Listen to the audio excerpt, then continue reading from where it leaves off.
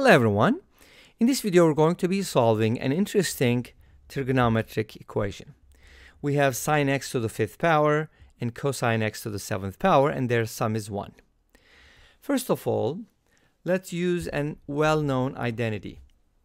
What is the most important identity in trigonometry?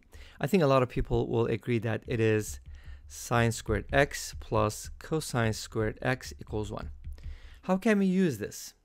Well, we have uh, a kind of like an uneven or maybe odd powers of sine and cosine on the left hand side, but we have 1 on the right hand side. So we can replace this 1 with this. And that's going to help us a lot. So let's go ahead and do it.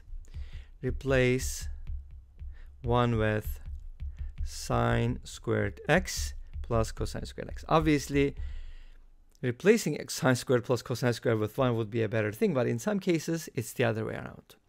Okay, so let's put the same kind uh, of trigonometric functions together. So I'm going to go ahead and bring the sine squared over here and the cosine over here. So that way they're kind of together, right? And then next step, obviously, hopefully it's obvious, would be factoring sine squared x, take out sine to the third minus 1. Take out cosine squared, 1 minus cosine x to the fifth power. Okay, great. Now how does this help? This is the million dollar question, right? Okay, so here's how we can use this. We know that sine and cosine are bounded, right? From above and from below. That's what bounded means. It, they always take values between negative 1 and 1 inclusive. So sine x is less than or equal to 1. That's the maximum value, 1 it can take, right? Cube both sides, nothing changes. Sine cubed x is also less than or equal to 1. But when you subtract 1 from both sides, you notice that this expression is non-positive, or should I say less than or equal to 0. Okay, great. So this is less than or equal to 0. We know that. Let's take a look at the other one. 1 minus cosine to the fifth. Notice that the reason why we look at something like this is after factoring, notice that uh, the expressions inside the parentheses kind of have like an opposite pattern. Uh, one of them is like sine minus 1, the other one is 1 minus. So they're kind of switched around. Make sense? So here's what we're going to look at. Cosine x is less than or equal to 1.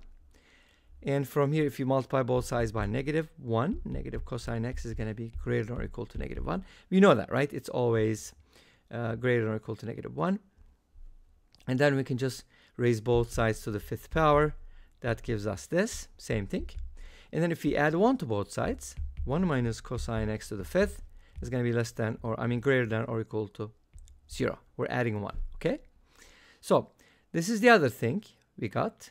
It means this is always greater than or equal to 0. And sine squared and cosine squared obviously cannot be negative. So they, they're not really going to impact anything. But notice that we have a weird, weird situation. If one side is negative, the other side is positive, then it's kind of problematic, right? So they both have to be 0. So here's the conclusion.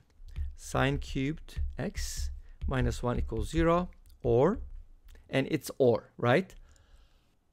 1 minus cosine x to the fifth power is 0. And this one gives us sine x equals 1, because if you cube root, it won't matter. And from here, we can basically find x value. Where does sine equal 1? Remember the unit circle uh, at pi over 2. So x is going to be pi over 2. And of course, you're more than welcome to add multiples of 2 pi, but I'm just interested in values that are less than uh, or equal to 2 pi. And from here, we get cosine x equals 1. And that happens only at 0 right? So we can write x equals 0. Obviously, 2 pi is a solution. You know, uh, you can just keep adding. So if you add 2 pi to pi over 2, you're going to get 5 pi over 2, so on and so forth. You just keep adding 2 pi, and you'll get infinitely many solutions. Make sense? Okay. So those are going to be our solutions, and you can definitely test them. Uh, there won't be any other solution. Let's go ahead and take a look at the graph real quick, which is kind of interesting. So the sum of the fifth power of sine and the seventh power of cosine gives us a really interesting graph that has the sine curve pattern, but just in a different way. kind of elevated. Certain parts are elevated.